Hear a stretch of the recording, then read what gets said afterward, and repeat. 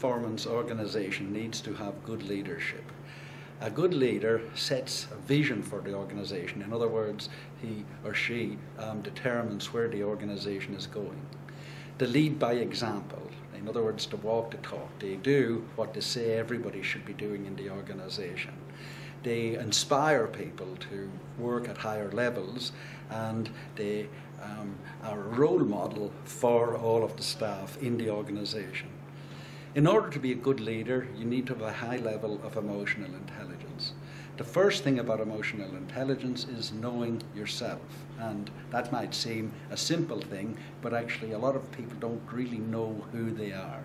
A strong leader will know who they are, they'll know their strengths, they will know their weaknesses. They will also be very good at managing themselves, in other words, doing what they um, set out to do and being very disciplined. In addition, they will um, have empathy, in other words, um, um, understand their followers so that they know what their followers' needs and wants are.